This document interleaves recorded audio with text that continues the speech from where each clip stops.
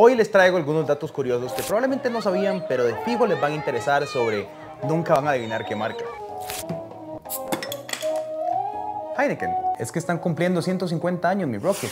Vengan, les contamos. Resulta que de 1920 a 1933 se vivió la prohibición del alcohol en Estados Unidos. Yo sé, difícil de creer. Una vez que Roosevelt le puso fin, dijo, este sería un gran momento para una cerveza. Con esto bastó para que Heineken se pusiera a correr y se convirtiera en la primera cerveza en Estados Unidos importada después de la prohibición. Freddy Heineken le hizo cosquillas a su cerveza y como pueden ver las dos E están inclinadas y hacen una sonrisa. Pero eso no es todo porque esta botella no solo tiene una sonrisa, sino que además es un ladrillo. Sí, esta botella fue diseñada para utilizarse en construcciones, buenos momentos y mejores construcciones. Pero lo más curioso de todo es su dedicación a los buenos momentos. Para su 150 aniversario, Heineken trabajó con un grupo de científicos de comportamiento para crear un índice de los buenos momentos. Según los resultados, un 88% de los mejores momentos fueron inesperados. Así que ya saben, ábranse una Heineken, encuentren su buen momento. Quizás es por eso que Fede Heineken en algún momento dijo, yo no vendo cerveza, vendo Gesselgied.